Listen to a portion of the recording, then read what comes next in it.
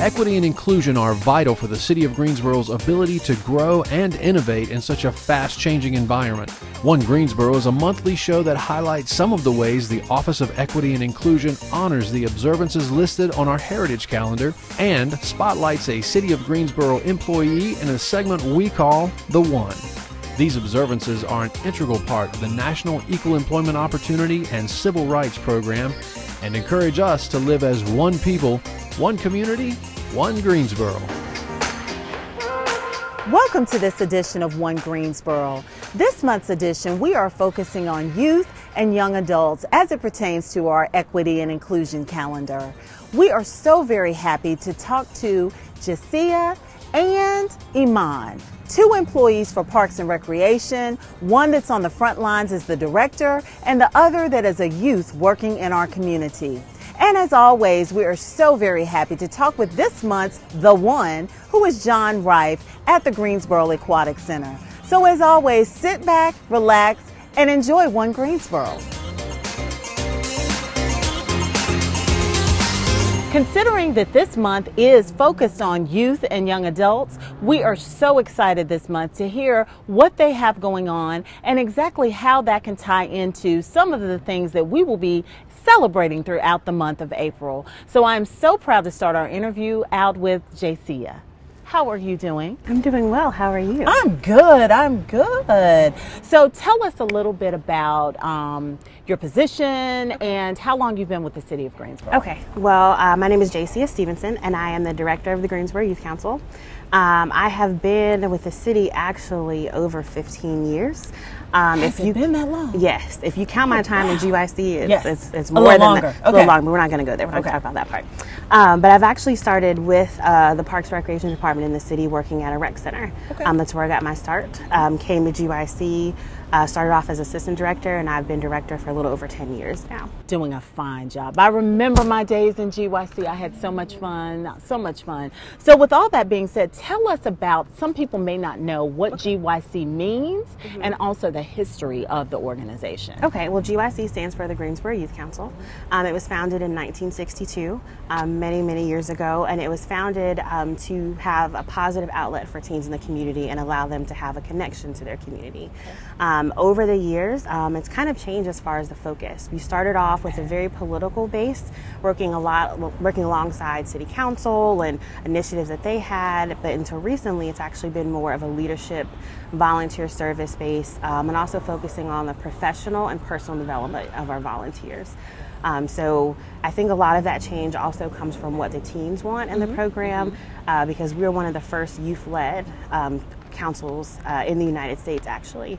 Oh, so I that, didn't realize yes. the United States. Yes. I thought you were going to say North Carolina. Oh, no, not North Carolina, the United the States. The whole United States. Yes, with okay. it being youth-led. Wow. Um, and that's something that we try to make sure that we continue to focus awesome. on. So any decisions that, that I make, I always try to make sure that I discuss it with them first. So it's Absolutely. not just coming from me. So even though I'm the director, our chair, our board, those are the ones that I try to make sure I get their voice and they're getting get their opinions as well. Wow, that is so awesome. And that prepares them for what they're about to get into as yes. far as going off to college, work life, military, mm-hmm. whatever Absolutely. they choose to do. That's so, so inspiring. Mm-hmm. So what are the requirements for GYC as far as membership is concerned? Um, well, membership for the Greensboro Youth Council starts in August and runs to January every year. Okay. Um, and the requirements are just to uh, attend an orientation or an interest meeting just to kind of see what it's about. Mm-hmm. Because we realize that every team might not fit into the mold of GYC or might not have what they want. So come see what it's about, see what it's like.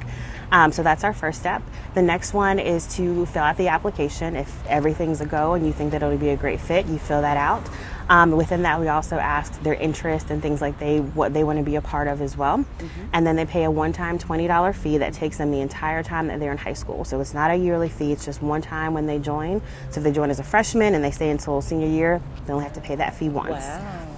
Okay. And then after that, they can just start uh, volunteering with us. Mm-hmm. And then to maintain membership, um, this year we actually had to main, we actually had to make a few adjustments with COVID. Absolutely. Um, just to make sure that we weren't asking too much of them. Mm-hmm. So this year we discussed it with the board and we changed it. And they, um, so this year it's only 10 hours per semester. Oh. So 10 for the fall, 10 okay. for the spring. Okay. Um, attending at least one of our projects. Mm-hmm. We try to offer uh, two to four major ones every year. Right uh, three of our monthly uh, workshops or trainings that we offer, mm-hmm. and then those focus on everything from uh, like emotional intelligence to uh, public speaking and skill building, resume building, things of that nature. Wow. And then we also have monthly meetings where we bring the entire council together to give them updates on what's going on and activities as well. So, for those parents who weren't aware that this was out there or thought that it was an invited type of group, mm-hmm. as long as the child is a rising freshman, it sounds yes, like in high school. as long as they're in high school. And we are wow. working, fingers crossed, if COVID will allow things to open up some more, we're also working to incorporate eighth grade oh, um, oh, wow. into, into what we're trying to do. So, Very that is important. something that we're excited about. We've had a couple come in for some mm-hmm. programs, and they've done really well. So, mm-hmm. we want to see if we can um, expand that with in the fall and then also looking into the spring how That's can great. we can expand our program that is great so what are some of the key programs i know some of the ones that i remember and love and we won't even talk about that haunted house i used to run at Carolina Circle yes. mall that's how old to, school I, right i used to go. so go, you were probably going to the house when i was yes. right right yes but what are they doing now? What are some of the programs now? Um, so currently, what we have actually for the spring, um, we are working on an aromatherapy workshop. Um, we've talked about a lot of things to, to de-stress and mm. self-care. So we're working on that as something that we hope to have in April, as well as possibly throughout the summer. Okay. We also have our service learning camp. Yes. Um, we have it's two sessions this year, one in late July, uh, one in late June, and one in July as well, focusing on poverty in our community. Um, so with that program, they take the first few days and actually learn about what that looks like in their specific community, because a lot of times they see it on a very global, Absolutely. national level, Absolutely. but we want them to see it on the local level. Mm-hmm. Um, so really excited to, to have that program again this year, and hopefully being able to do it in person, if not virtually. Mm-hmm. Um, but they get to do that. Um, and then we're also working with uh, Britt Huggins, who's our youth development director with Youth Services, on some other teen programs, such as a foot golf, a foot golf clinic this summer, um, going to the lake and having um, kind of like a glow night at the lake. So we're trying to do as the sun goes down, glow sticks, s'mores, okay. all of that good stuff. So really trying to do some outdoor programming for okay. them this summer because they've been inside with school and everything's been virtual. Forever. Yes. So we really are trying to do some outdoor programming for them right now. Okay, I have to ask, foot golf. What is foot golf? So foot golf, instead of your traditional golf with you know the golf clubs yes. and everything, this was also this is actually a new trend within Parks and Rec. Hmm. Um, we actually kick it. You get your own ball and like you kick it into it. Yes, but not as intense. Ooh. Yes, because you kind of compete against yourself and some teams. So okay. it's actually really, it's actually really exciting. I think we've hmm. had some clinics for adults as well. Okay, you're gonna have to call me. Yes. Okay. have to see. But I can't break anything. The... Oh no no no! It's, okay. it's very it should be very low okay. impact okay. unless you're really competitive. Now that I, I am. Okay, well then that might be okay. but so it'll we'll, it'll be I'll good watch. Though. I'll watch yes. that. Okay. Yeah. Okay. Those are programs that we have going on um, coming up in the next few months. But our Wonderful. traditional ones are like you said, our Halloween festival, Absolutely. Ghoulash and our Santa's Workshop program that we have. Um, that'll be in December of this year. Which you all do an awesome job running. Yes, so please those are those, those are two of my favorites. Yes, yes, yes. So one of the last things I wanted to, and you touched on it a few moments ago, but how is GYC promoting equity and inclusion throughout the city of Greensboro? What are some of the things that you can highlight mm-hmm. um, as far as that's concerned? Um, I think for us, one of I know my biggest things for myself personally as the director, and a lot of people say they don't see mm. that that's going on. Um, but I like to make sure that I am aware and not making it so evident, but just knowing that we have to be aware that that's going on, the teams that are coming to us. One of the things that our volunteer manager, Miracle Collier, brought to the organization um, is a sense of belonging training. Yes, so having them understand what that looks like when you come to a group because everybody's coming from a different background, a different aspect. So how do we include that in what we're doing? And it's very simple, just making sure that you making that you're making someone feel welcome when they come into a room, that you address them. Um, I think also with our uh, we had teen vent sessions that we had this year as a way to give them a place to just be able to talk and have a voice right. with all the challenges that were going on with COVID and their frustrations it was just really open forum. We had some topics, but they got to talk about a lot of things, yeah. um, whether it be you know race and things that they were dealing with, frustrations with school. It just really gave them that opportunity to do that. And I think with GYC, that's what we try to do is give them that place to have that voice, to be who they are, to be themselves um, and showcase that to the community because it's really about them and what they're doing. So I think that's the, the best way that we can do that is having that safe space for them to come and be able to do that. Well, I love the program. I'm a product of the program, so please keep up what you're doing. Um, I hope you all can not be virtual so you can get back face to face, but you're doing a fine job virtually. So thank, thank you. you so much for coming out today and telling us a little bit about GYC. Thank you for having me. Thank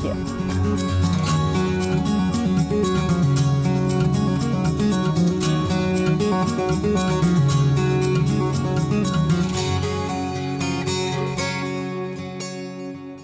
Welcome to this edition of The One. The One is an intimate conversation with City of Greensboro employees that are working to create a culture of oneness in our organization and our city. This conversation will allow you to get to know them and hear their thoughts on our journey to create One Greensboro. Our employee this month is John Rife. He is the operations coordinator at the Greensboro Aquatic Center, and he's also the co-lead of the Young Professionals Employee Resource Group here at the city. Hi, John. Hey, Maria. Thank you. It's great to be with Welcome. you today. Welcome. I feel like we're a year later. Well, we are because we spoke last April. Yes, ma'am. Yes, ma'am. At, at the Aquatic Center. So Not sure if it feels like it or not. Sometimes it feels longer. Sometimes It's it been feels a long fast. year. It's been a long year, but you've been doing some great stuff, which hopefully we'll get to in the interview. Yes, so tell everyone a little bit about yourself and what your role is for the city. All right, so I serve as the operations coordinator at the Greensboro Aquatic Center.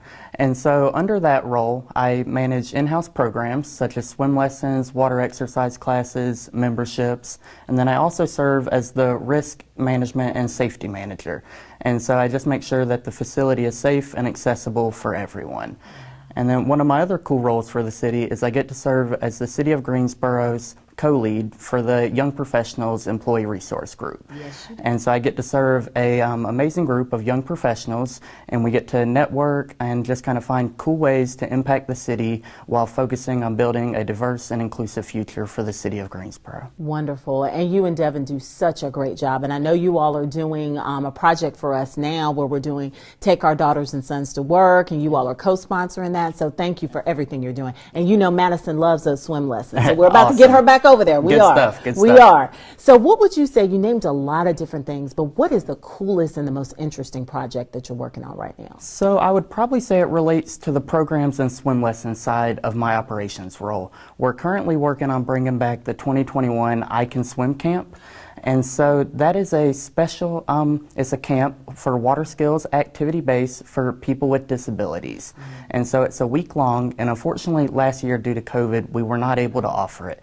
Um, so a lot of big impact that was missed out on. So we're very excited. Um, Ashley Collier and I Can Shine do a great job with that. So if anyone's interested, you can find more information on Facebook, but definitely a great program to get involved with, whether it's on the participant side or you want to volunteer with it. Wonderful. I love it. I love it. What would you say um, if you could think of a person who inspires you? Who would you say that person is? Who inspires you the most and why? So when I think of who inspires me, maybe not necessarily one exact person, but I think of leaders with inspirational traits. Um, so kind of empathy, um, leading with compassion. I know facing adversity and then coming to work and still being present and leading others and making them the best you can is very challenging. Um, so when I think of a couple people within the city of Greensboro that are that way, I like to think of David Parrish, um, my co-lead Devin Smith, and then also yourself, Maria. Just to put you on the spot. Yes, ma'am. John, you put me yes, on the ma'am. spot. Yes, oh, ma'am. That's so sweet. I do. I do. That's so sweet. Y'all are definitely inspirational. Well, well, you know, and I mean this from the bottom of my heart. You are an inspiration to me because just how you all care so much at the aquatic center, um, you know, for the children, especially that program you're just talking about, that has so much community impact. So please keep doing everything you're doing. Thank you. Thank you. Um, oh, you're making me blush. Oh my gracious. Um, who would you like to swap places with for one day? So, as part of my master's program, I got to learn from a gentleman named David Olson, who is the PNC General Manager, which is a large scale sports event facility in Raleigh. Um, and so, I think just the opportunity to be able to step into his shoes and bring everybody together for a night of an amazing event or sporting event would be awesome. Absolutely. ma'am. and isn't that where the hockey games are? Yes, so they do the Carolina Hurricanes, Yes, they do all the. NC State events, um, Okay. and then they bring in some other events and stuff as well. Okay, so I'll have to call you that day so you can get me in for a hockey Yes, game ma'am. when you switch. Okay, all right, because I hadn't seen hockey in a long time. I Me missed neither. it. So, how is celebrating young professionals and youth a step towards One Greensboro? What we're trying to do? So I think it's a step towards One Greensboro for many reasons. I think it creates a platform for young professionals and young community members to feel like the city of Greensboro is a safe and inclusive place for them to get involved. Um, I think it gives us that foundation to come together and address those kind of tough issues. Um, you can be kind of wholesome within your unique self and be vulnerable. Because it is a group that allows you to kind of be more honest with your unconscious biases, things like that. Um, so I think it's just it's necessary, it's needed, um, and definitely a great opportunity to get involved in. Wonderful. And the one great thing that I love that you all have started doing recently is reaching out to other young professional groups in the city, like Synergy. Could you tell a little bit about that too? Yes. So recently we've tried started trying to bridge out and kind of network with some of these other prominent young professional groups and find ways that we can work together. Mm-hmm. So if they have a cool event going on that we can participate in, we want to be there to impact the the city in that way. If we're hosting a cool event and we can bridge the gap and have them participate, that's important to us as well. Um, and they've done some cool initiatives, and so there's things for us to learn from, and then hopefully we can teach them some stuff along the way as well. Absolutely. And the Jaycees, there's so many different groups that yes. I know you all are going to partner with. And now that things are lifting a little bit and it's getting a little warmer, hopefully y'all can network and do some more things, some cool things. yeah, we're really excited. Just kind of a short and sweet one. We're doing a little Adopt a Stream project where the City of Greensboro young professionals are hoping to adopt a stream. And so that'll hopefully give everyone that first chance to get some fresh air, come together, and clean up our city. Absolutely. Well, I've outgrown it a little, but make sure you tell me the date so yes, I can come. Yes, I love that. I love cool. that. Last question is how can we create um, a culture of oneness? You talked about kind of with young professionals, but in your opinion, what can we do for the whole city of Greensboro to get that one Greensboro, in your opinion? So I think continuing a lot of the initiatives that are currently in place. Mm. Um, I think the Office of Equity and Inclusion does a very good job with the employee resource groups as a whole. Mm-hmm. Um, I know I've witnessed it's still growing to where new ones are being added, and so I, I think that is great. I think one thing the city can continue to do, um, I participated in an online module training the other night, and it was a really cool metaphor related to investing in resources and it was if you got a new job and they were all using flip phones or something like that, you may not be as motivated to try to reach the new goal or make big changes. But if you're involved in a city that's investing in resources, time, money to really focus on diversity and inclusion, it's going to be a lot easier to reach those goals. Wow. So I think if the city can continue to invest those resources, create cool events to participate in, things like that, definitely be a step in the right direction. Wow. Well, I'm just so glad we are here and we invested in bringing you to the city and you are one of these co-leads and you're doing that marvelous work that you're doing over at the GAC. So thank you, thank you so much, John. Keep it up and I'm sure I will find something else that we need for you to do. So you know I'm going to call you. Yes, ma'am. Thank you, Maria. I Wonderful. appreciate you inviting me today. Thank you. Thank, thank you, you, John. Yes, ma'am.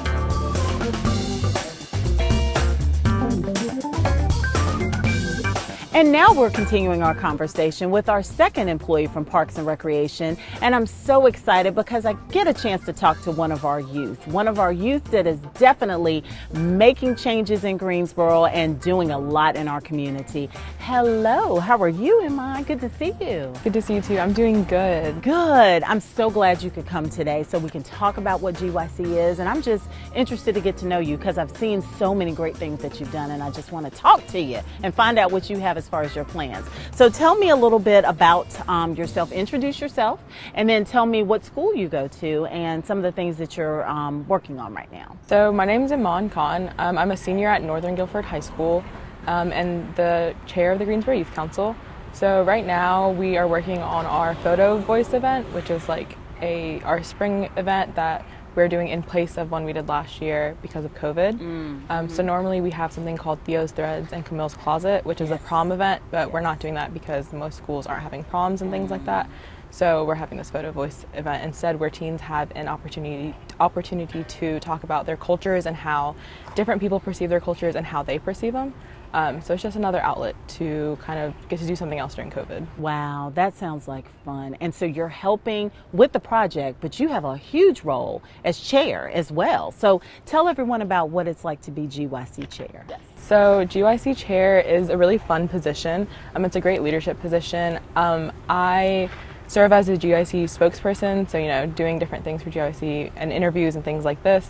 Um, as chair, I also kind of am in charge of making sure everything's running smoothly, coming up with new projects if we need them, and just making sure that my team is on the same page and we are all happy to work together. Wonderful. And how many years have you been chair? Is this your first or second year? This is my first year being chair. First year yes. being chair. So were you vice chair coming in or? Last year I was actually the training director. The training yes. director. I love that role. Okay. Yes. Okay. So I planned and facilitated trainings um, throughout the school year for all the teens in Guilford County. Okay. So how was it operating in COVID. How was that being chair?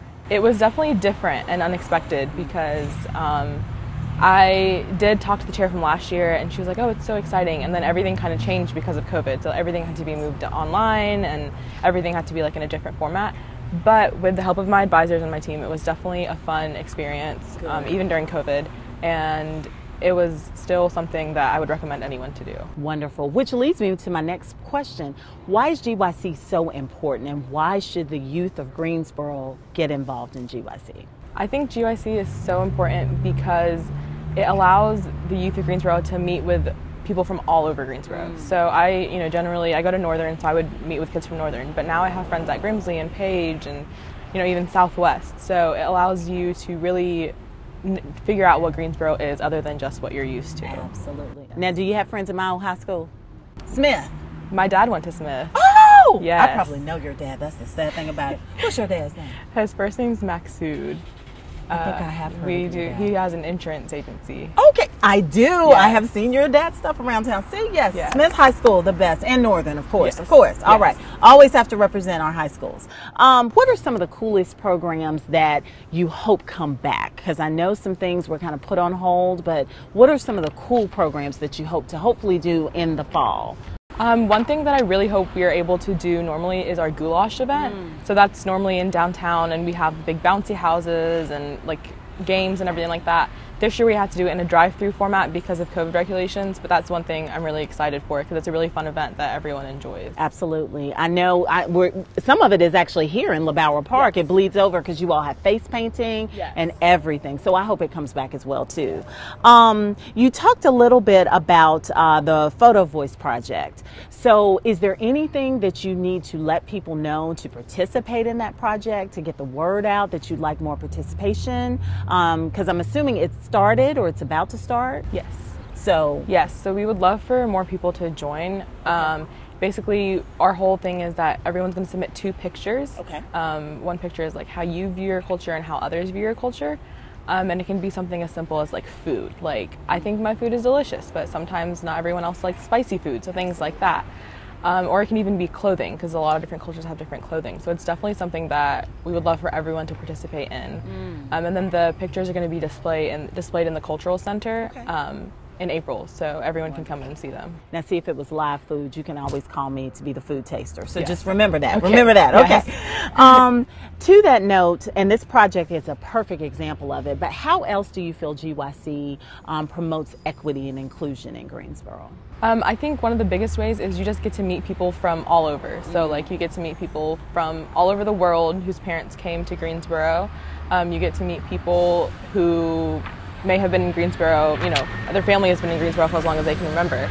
But you get to interact with all different kinds of people who give different perspectives on like what's going on. Yes. And you just like you really do change your view of the world sometimes. Wow. Now all of this that you've been working on with GYC, now I have to know what are your future plans? What do you want to do? So I plan to go to college in the fall. I'm not sure where yet. I'm still waiting for some decisions, but I want to do physical therapy. Yes. And so I want to get my doctorate in physical therapy and then actually work in the NICU. Oh, so, look at you. Yes. That is wonderful. That is wonderful. And would you attribute GYC to some of the leadership skills that you have now that are going to hopefully get you into those top colleges to do all of this in your PhD? Yes, definitely. Wonderful. Um, I've definitely learned some really, really valuable leadership skills through GYC and just learning how to work with a team and not, you know, just by yourself. Wonderful. Well, thank you so very much for coming and speaking with us today. And I'm hoping we can get more people to participate in that project because it sounds like it's interesting and it sounds like it's going to bring you all even closer together. Yes, so, definitely. Thank you so much. Thank you.